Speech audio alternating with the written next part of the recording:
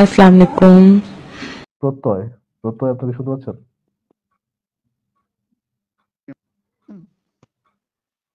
হ্যাঁ আমি শুনতে পাচ্ছি। আপনি শুনতে পাচ্ছেন? জি শুনতে পাচ্ছি। জি ভাই বলুন। আচ্ছা। একটা বিষয় কি জানতে চাচ্ছিলাম ট্রান্সজেন্ডার ইস্যু নিয়ে কি কোনো প্রশ্ন করা যাবে? করতে পারেন। আম, আমরা তো অতটা ইয়া আমি অতটা ইয়া না বিজ্ঞ লোক ট্রান্স বিষয়ে কথা বলার মতো। আচ্ছা। যদি ইয়ে হয় নর্মাল বিষয় ট্রান্সজেন্ডার যে ইস্যুটা নিয়ে কথা বলতে চাচ্ছিলাম সেটা হচ্ছে বাংলাদেশের লতে কি একজন মানুষ যদি সে মেল থেকে ফিমেল হতে চায় এটা ল অনুযায়ী কি বাংলাদেশের। আইন? আই ডোন্ট নো বাংলাদেশের আইনে এখানে কোনো বাধা ধরা আছে কিনা I don't know gender reformation surgery করাটা বাংলাদেশে বৈধ না অবৈধ যায় না। আপনারা কমেন্টে যদি কেউ জেনে থাকেন দয়া করে একটু আমাদেরকে একটু জানান যে ইউরোপিয়ান বা আমেরিকান আইনে কি এটা কি মানে ই কিনা? একজন চাইলে সে কি কারও মানে ইচ্ছে মতো কখনো মানে ছেলে থেকে মেয়ে বা মেয়ে থেকে ছেলেতে তারা যেহেতু লিগালি হচ্ছে সেখানে তো ইলিগালিটির বিষয় নাই। মানে আমরা তো এটা ইয়ে করে দেখতে পারতেছি যে ওই ধরনের আউটকাম দেখতে পারছি। তো ইয়ে তো নাই। আমরা তো কোনো এটাকে কোনো ক্রিমিনাল অ্যাক্ট বলে মনে করতে মানে ক্রিমিনাল অ্যাক্ট হিসাবে আখ্যায়িত করা হচ্ছে বলে দেখতেছি না। মোস্ট প্রবাবলি এটা অ্যালাউড অ্যালাউডই হওয়ার কথা। আরেকটা বিষয় কি জানতে চাচ্ছিলাম। অনেক সময় তো দেখা যাচ্ছে যে কয়দিন আগে যখন মানে মিটফোর্ড হাসপাতালে যখন নেক্রোফিলিয়ার একটা পেশেন্ট হয় সেই মৃত মানুষের সাথে মানে সহবাস করে, ওটা তো আসলে এটা তো এগেইনস্ট দ্য নেচারে হচ্ছে। ওটা কিন্তু সে যদি বলে সে যে এটাই তার নর্মাল তাহলে সেটা কি আসলে সেটা কি সেটা কি এটা এরকম কোনো কিছু কি করা একটা হচ্ছে রাইট ভায়োলেশন যখন কেউ নিজের বডির সাথে কোনো কিছু করছে, সেটার মধ্যে তো কারও রাইট ভায়োলেটেড হচ্ছে না। এন্ড একজন মৃত ব্যক্তির সাথে যখন করতেছেন মৃত ব্যক্তির কাছ থেকে কি কনসেন্ট নেওয়া কখনো পসিবল সম্মতি নেওয়া পসিবল কখনো? না আমি এইভাবে আসলে চিন্তা করিনি এই কারণে কি না দেখলাম তো আমাদের দেশে অনেকে যদি কনসেন্ট ছাড়া আপনি কোনো কিছুর সাথে করেন একজন ব্যক্তির সাথে ব্যক্তি সব তো তার তো ইমান ডিগনিটিটা এখনও আছে। আপনি যখন যদি তার ডিগনিটিটা ভায়োলেট করতেছেন মানে ওখানে কনসেন্ট আসতে আসতেছে কোথা থেকে? আচ্ছা ঠিক আছে না এটা আর কি জানার জন্য আর কি না। আরেকটা বিষয় জানতে চাচ্ছিলাম যে যখন দেখা যাচ্ছে যে একজন মানুষকে যদি ট্রান্সপ্লান্ট সার্জারি করা হয় হ্যাঁ? তখন দেখা যাচ্ছে যে সে যদি ছোটবেলায় ট্রান্সপ্লান্ট সার্জারি করা হয় যে ছেলে থেকে মেয়েতে বা মেয়ে থেকে ছেলেতে করা হয় ট্রান্সপ্লান্ট করা মানে যখন যে ইয়া জেন্ডার ট্রান্সফরমেশন করা হয় তখন তার অ্যাডোলেসেন্ট এজে কি তখন যে মনে করেন যে ছেলের মতো আকৃতি দেওয়া হলো তখন সে তখন কি সে যদি মনে করেন নিজে নিজে মেয়ে ফিল করতে পারে কিনা?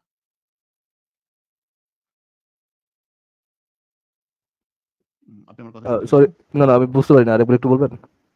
বললাম দেখা যাচ্ছে যে বাংলাদেশে বিশেষ করে বা বিভিন্ন জায়গায় দেখা যাচ্ছে খুব অল্প বয়সে একটা ছেলে মানে লিঙ্গগত ত্রুটি নিয়ে জন্মগ্রহণ করল। জন্মগ্রহণ করার পরে এইজে গেল না। অ্যাডোলেসেন্ট এইজে যাওয়ার আগেই সে যদি আহ, মানে সে যদি তাকে তো আমার দেখা যাচ্ছে খুব অল্প বয়সী এক বছর বা তার আগে যখন সার্জারি করে ফেলা হয় তখন সে অ্যাডোলেসেন্ট এইজে গিয়ে মনে করেন একটা একজনকে ছেলে তে কনভার্ট করে ফেলা হলো আগে তখন কি সে মেয়ে কখনো কি, সে নিজেকে মেয়ে ফিল করতে পারে কিনা? এখানে তো কোনো লজিক্যাল কন্ট্রাডিকশন নাই।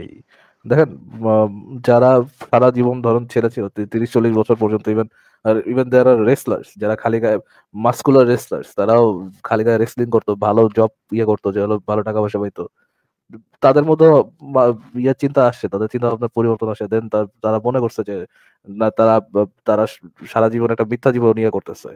আর সে অ্যাকচুয়ালি পুরুষ না, সে অ্যাকচুয়ালি নারী। ওটা হইতে পারে। আমরা ওটা যাচাই বাছাই করে দেখতে পারব না যে সে মানে যাচাই বাছাই করার ওয়ে নাই আমাদের কাছে যে তার ফিলিংসটা সত্য না মিথ্যা। উই ডোন্ট নো বাট কেউ যদি করতে চায়, কেউ যদি মনে করেন নিজে নিজে অতটুকু আম, আম, feel তা- নিজে যতটুকু কমফোর্ট ফিল করে যে আমি এই জেন্ডারের সাথে যাচ্ছি না আমি ওই জেন্ডারের সাথে বেশি ইয়ে করতেছি। এখানে তো আমি দেখতেছি না যে কারও রাইট ভায়োলেট হচ্ছে কারও কোনো সমস্যা হওয়ার কথা। মানে অন্য কারও তো তার উপরে অধিকার নাই কোনো। সে যদি নিজে নিজে নিজের জেন্ডার ইয়ে করতে চায় আমার তো সেখানে বলার ইয়ে নাই বলার মতো কিছু নাই। আর করতে পারে কিনা লজিক্যাল কোনো কন্ট্রাডিকশন নাই তো যে সে কেন করতে পারবে না এরকম সে করতে পারে। আমি কোনো কন্ট্রাডিকশন দেখছি না যে যে জন্য সে ওই জিনিসটা ফিল করতে পারবে না সে নারীর মতো ফিল করতে পারবে না এটা তো এটা তো ব্যক্তির অধিকার এটা এই অধিকারে আরেকজন কীভাবে হস্তক্ষেপ করে না আমি আমি আসলে বিষয়টা এটা বুঝাতে চাইনি চাইনি। আমি বুঝাতে চেয়েছি যে একজন মানুষকে ছোটবেলায় যখন মানে যখন ওই যে ট্রান্সফরমেশন করা হচ্ছে, এখন ছেলেকে একটা মানে সে আরকি আ জেন্ডার ডিফর্মিটি নিয়ে মানে জেনিটাল ডিফর্মিটি নিয়ে জন্মগ্রহণ করল। পরবর্তীতে তাকে যদি আমরা ইচ্ছা করে ছেলে বানিয়ে দিলাম। কিন্তু পরবর্তীতে সে অ্যাডোলেসেন্ট এজে সে কখনো নিজেকে মেয়ে হিসেবে ফিল করতে পারে কিনা? স্টাডি কি বলে? ভাই এই বিষয়ে তো আসলে আমাদের এখানে আমরা এত ভালোভাবে এই জিনিসগুলো না জেনে বলাটা ঠিক না। আপনি এই বিষয়ে অনেক আ রিসার্চ আর্টিকেল আছে সেগুলো আপনি পড়তে পারেন। অথবা আ সংশয়.com একটা লেখা আছে এই বিষয়ে জেন্ডার বিষয়ে। সেটাও পড়তে পারেন। আর এই বিষয়ে যারা অভিজ্ঞ তাদের সাথে আলোচনা করতে পারেন। আমরা না জেনে আসলে এই মানে বিজ্ঞ মতামত দেওয়াটা উচিত হবে না আমাদের জন্য। হ্যাঁ? আচ্ছা জি, ধন্যবাদ। ওকে। ঠিক আচ্ছা, আছে। আর কি কিছু আচ্ছা বলবেন? আরেকটা কি কোয়েশ্চেন ছিল?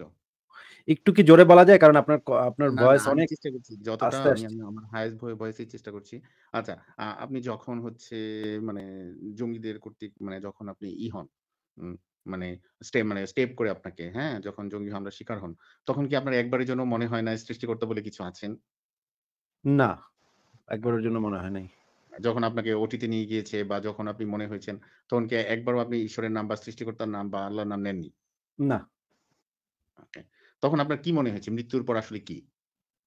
আমার তো মনে হচ্ছিল এখনই সব শেষ হয়ে যাবে। আমার সবকিছু যত আ সবচাইতে আফসোস লাগছিল যত আমি বই পড়েছি। আমি আ ছোটবেলায় প্রচুর বই পড়তাম। ছোটবেলা এখন এতটা পড়া হয় না।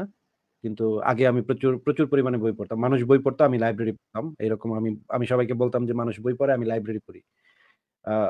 আমার খালি আফসোস হচ্ছিল যে আমি এত বই পড়লাম কিন্তু কি লাভ হইল? এত পরিশ্রম করলাম, এত জানার চেষ্টা করলাম কিন্তু এগুলাতে এখনই তো সব শেষ হয়ে যাবে। তাহলে লাভটা কি হইল? এত কষ্ট করলাম কেন?